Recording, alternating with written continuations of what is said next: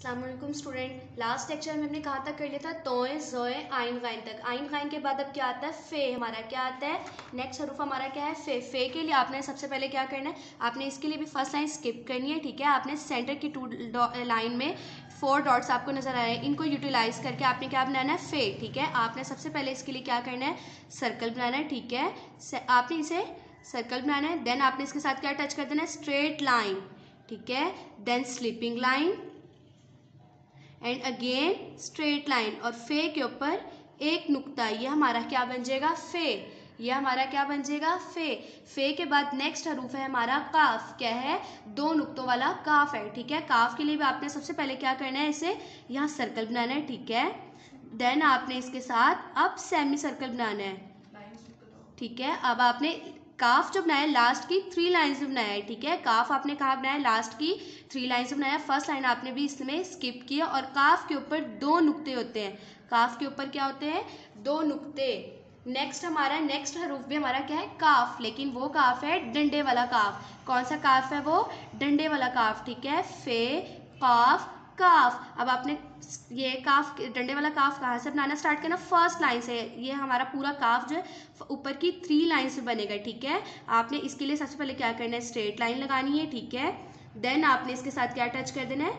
Sleeping line and again straight line और इस काफ के ऊपर एक डंडा होता है। काफ के ऊपर एक डंडा, यानी एक स्टिक ठीक है? ये हमारा क्या बन गया? डंडे वाला काफ ओके काफ के बाद नेक्स्ट हरूफ है हमारा गाफ। क्या है?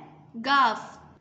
गाफ। गाफ के लिए भी आपने सेम क्या करना है? पहले, सबसे पहले ऊपर की थ्री लाइन में गाफ आपने बनाना है, ठीक है? गाफ के लिए भी आपने क्या करना है? स्ट्रेट लाइन ठीक है? देन स्लीपिंग लाइन और आपने दोबारा इसके साथ क्या कर टच कर देना है? स्ट्रेट लाइन अच्छा काफ में आपने एक स्ट्रिक डाली थी, गाफ में दो स्ट्रिक है, ठीक है? एक बड़ी और एक छोटी। ये हमारा क्या बन गया? गाफ। फे काफ काफ, गाफ। गाफ के बाद नेक्स्ट हरूफ है हमारा लाम। नेक्स्ट हरूफ क्या है हमारा? लाम।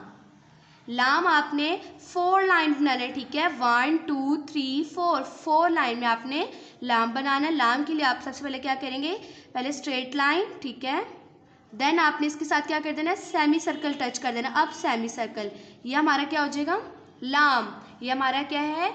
लाम। लाम के बाद आपने क्या बनाना है? लाम के बाद नेक्स्ट हरूफ आता है हमारा मीम। नेक्स्ट हरूफ क्या आता है हमारा मीम। मीम भी आपने फोर लाइन से बनाना है। One two three four line में आपको थ्री डॉट्स नज़र आ रहे हैं, ठीक है? अब आपने इसको ज्वाइन करके क्या बनाना है? मीम। ठीक है? इसके लिए आपने सबसे पहले क्या करना है? सर्कल बनाना है फ़र्स्ट लाइन पे। ठीक है? फिर आपने इसको इस डॉट के साथ टच कर देना है। स्लैंटिंग लाइन जिसे कहते हैं, ठीक है? देन आपने क्या टच कर देना है? स्ट्रेट लाइन ये हमारा क्या बन जाएगा? मीम। लाम, मीम। मीम के बाद नेक्स्ट हरूफ आता है हमारा नून। नेक्स्ट हरूफ क्या आता है हमारा? नून। नून के लिए आपने क्या करना है? फ़र्स्ट लाइन आपने इसके लिए स्किप करनी है। लास्ट थ्री लाइन यूज़ करनी है नून के लिए, ठीक है? उसके बाद आपने क्या करना है? सेमी सर्कल टच कर देना है, ठीक है? फ़र्स्ट सेकेंड लाइन से आपने बनाना स्टार्ट करना है, ठीक है? और उसके बाद आपने इसके अंदर क्या करना है? एक डॉट ये हमारा क्या बन जाएगा? नून। ये हमारा क्या बन जाएगा? नून, ठीक है? नून के बाद नेक्स्ट हरूफ आता है हमारा वाव। नेक्स्ट हरूफ हमारा क्या आता है? वाव। वाव के लिए आपने क्या करना है? राइट सेमी सर्कल बनाना है। क्या बनाना आपने सबसे पहले? राइट सेमी सर्कल बनाना है, ठीक है? सेंटर की टू लाइंस में आपने बनाना है, ठीक है? फ़र्स्ट लाइन आपने स्किप की। सेंटर की टू लाइंस में आपने क्या किया है? राइट सेमी सर्कल बनाया है, जिसे दाल की शेप भी हम कहते हैं, ठीक है? और आपने इसके अंदर क्या करना है? फेस बना ये हमारा क्या बन जाएगा? वाव ये हमारा क्या बन जाएगा? वाव ठीक है? अब आपने इन सब हरूफ की घर में प्रैक्टिस करनी है और इसकी आइडेंटिफिकेशन करनी है कौन सा हरूफ क्या है, ठीक है?